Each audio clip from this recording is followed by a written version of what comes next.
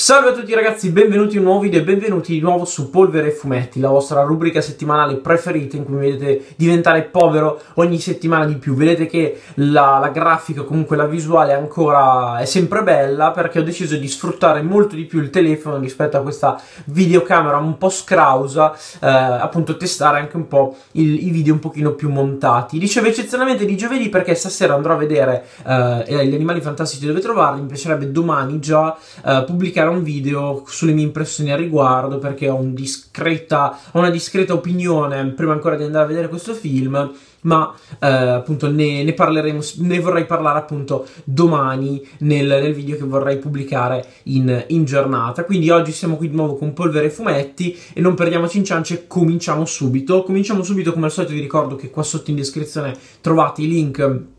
per acquistare questi ed altri fumetti ad un prezzo scontato su Amazon, ho visto che ho fatto un gesticolio mostruoso, eh, appunto però direi di cominciare subito col Giappone, per cui è uscito il volume unico di Black Museum Springald, pubblicato da Star Comics al prezzo di 6,90 euro. Um, questo appunto è un volume unico dedicato a questa serie, questo, uh, questa miniserie scritta e disegnata da Kazuhiro Fujita, mi pare,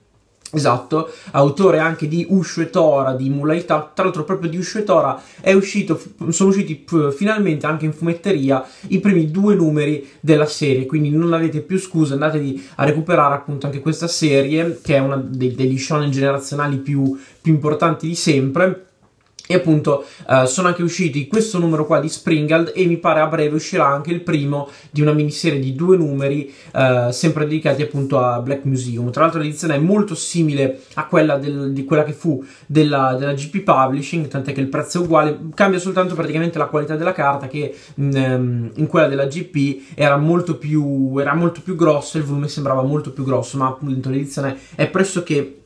identica. E poi numero 12 per la nuova edizione di Gantz al solito prezzo di 4,50€ in cui inizia un nuovo, un nuovo arco narrativo, meglio continua l'arco narrativo a cui ci eravamo praticamente fermati il numero precedente, ma dai, e appunto i nostri ricominciano a giocare al, a questo giocone così perverso, così malato di questa pallona Gantz. Questa settimana devo dire che più che la fumetteria mi ha un po' ehm, diciamo messo in ginocchio la libreria perché ho ceduto a un paio di acquisti la prima è una novità di cui parliamo subito, la seconda è un, invece una specie di recupero perché è una cosa che è uscita un paio di mesi fa mi pare e che appunto ho trovato in libreria, erano scontati e ho detto vabbè li prendo e li provo. Il primo di cui parliamo è il nuovo libro di GP, La terra dei figli, pubblicato da Coconino al prezzo di 19,50€. Ora,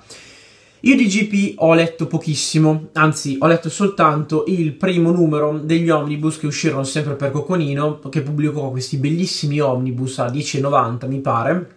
appunto dedicati due a GP e uno ai cinque allegri ragazzi morti. Lessi il primo di GP e devo dire che non mi piacque moltissimo, anzi non, non mi interessò quasi per nulla, quindi pensai che fondamentalmente GP non facesse per me, punto e basta da quando è uscito La Terra dei Figli io non sento parlare d'altro, io sento solo gente che lo elogia, dice che è bellissimo, dice che è una storia fantastica e diciamo spinto più che altro dal parere di un mio, um, di un mio compagno di fumetteria, che tra l'altro è un ragazzo che mi segue anche su YouTube, che saluto, ciao Matteo, appunto mi, ha, mi, sono convinto, ho voluto recuperarlo, vediamo un po' come, come, sarà, se non mi piace Matteo te lo tiro sul coppino. E, e appunto sono, non, non, lo so, avevo questa cosa qua, ho detto proviamo a vedere se non dovesse piacermi proprio definitivamente vuol dire che a me, io e GP siamo, siamo incompatibili diciamo, questo appunto pubblicato da Coconino, un bel cartonato, bello grosso,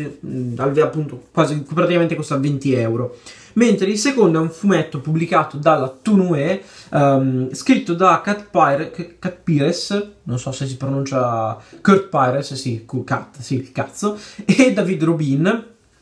che è The Fiction appunto pubblicato per uh, Tunue al prezzo di 16,90€. È un fumettino abbastanza piccolo perché è un formato praticamente, sono i formati della Bao, quelli per i fumetti alla, alla Image Comics praticamente, uh, appunto che parla di questi ragazzi che si immergono nella, nei, nei, veri e propri libri, entrando um, appunto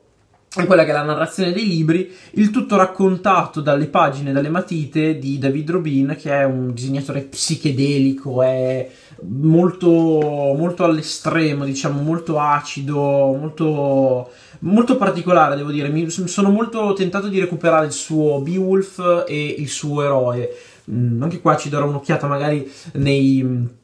nei prossimi mesi, nei prossimi acquisti, magari tra, tra, Natale chissà che non scappi anche qualche recupero. E poi continuiamo con quelle che sono invece le uscite per quanto riguarda la fumetteria, con la ristampa per quanto riguarda RV Lion di Black Orchid, pubblicata da RV Lion appunto per la Vertigo Comics. Questa mi pare che sia l'edizione della Library, se non sbaglio, adesso ve lo dico subito anzi non mi perdo in tempo, sia la Vertigo Library, eh, appunto pubblicato da RV Library al prezzo di 13,95 euro, un pochino alto, i prezzi delle review ballano in una maniera mostruosa, non si capisce quanto, se, se ci sia una, eh, come dire, uno standard di prezzo di edizione, qua è tutto, tutto a caso praticamente, um, una storia scritta da Neil Gaiman e disegnata da Dave McKean, che sono due grandissimi nomi del fumetto eh, americano, in generale Neil Gaiman ha disegnato, ha scritto, scusatemi, Sandman, uh, Nessun Dove, 1602, mm, insomma, ne ha fatte di cotte e di crude, mentre Dave McKean è un artista che personalmente mm, apprezzo, mi piace molto um, come, come diciamo resa grafica e che appunto qua si trovano insieme in questa storia eh, di cui non so molto devo dire so solo che parla di questa ragazza che se non sbaglio dovrebbe eh, diventare una specie di esperimento genetico trasformandosi appunto in un'orchidea nera. E, ehm, però sono stato molto molto intrigato da questa trama così se non sbaglio banale ma soprattutto appunto dai nomi perché ripeto Neil Gaiman non è l'ultimo arrivato diciamo è uno dei mostri sacri del fumetto eh, americano e mondiale in generale per cui mi sono convinto a recuperare questo capolavoro, questo così, così, chiamato capolavoro. Tra l'altro è anche un'edizione um, nuova perché quella vecchia della Planeta, mi pare, comunque quella precedente dell'RV è andata completamente esaurita. Quindi ho detto, sai che c'è, prima che vada esaurita pure questa, me la recupero. E poi, solita carrellata di uscite Marvel, poi passiamo per quanto riguarda l'edicola. La Marvel, come al solito, nelle ultime settimane sforna meno roba, infatti abbiamo il numero 7 di Wolverine al prezzo di 2,90€, i nuovissimi Avengers 14 con Standoff al prezzo di 3,50€ e il numero 14 di Amazing Spider-Man sempre al prezzo di 3,50€. E poi concludiamo con quella che è l'edicola, per cui ho comprato un solo, una sola uscita, ovvero il secondo numero di Farfdr è, penso che si pronunci così, è il Grey Mauser, una storia appunto pubblicata da Editoriale Cosmo al prezzo di 4,90€, anche qua prezzi un pochino tanto troppo ballerini uh, per un'edizione che fondamentalmente è anche più piccola di un Bonellide normale ed è però tutto a colori disegnata dal grandissimo Mike Mignola, il papà di Hellboy, che si appunto ispira a questa, a questa serie di storie, mi pare, uh, scritte da Fritz Lieber. Tra l'altro, la l'editoriale del Cosmo pubblica proprio in questo periodo, eh, proprio in questi giorni, è uscito, mi pare, insieme a questo, anche quelle che sono le storie originali di, di questa serie di Farwell e Grey Mauser, disegnate tra l'altro da Walt Simonson, se non sbaglio. Uh, però ho deciso di non comprare perché insomma costava troppo, costa mi pare 5,50€, è poco più grande di questo fumetto fondamentalmente non mi intriga più di tanto quel, quella, quel tipo di storia, queste, mentre queste cacche disegnate da Mike Mignola, che è uno dei miei disegnatori preferiti, ho detto vabbè, questi qua cedo, cedo molto volentieri. Il primo numero mi era piaciuto molto, è una serie molto interessante, un po' medieval fantasy, con questi due uh, scapestrati guerrieri ladri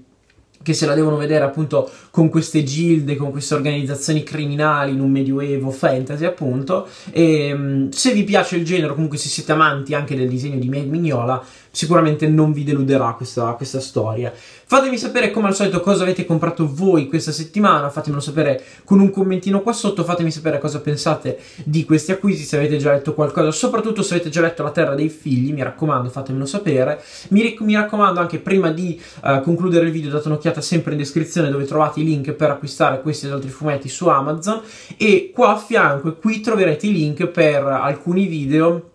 e uh, per i miei contatti come potete, cui potete iscrivervi al, al, canale oppure quello per poter andare alla, alla, mia pagina Facebook. Non ho nient'altro da dirvi, noi ci vediamo, spero, credo sicuramente, domani per il video appunto su Animali Fantastici da Zero Harley e, e niente, poi ci vediamo come al solito settimana prossima con un altro video per polvere fumetti. Ciao belli!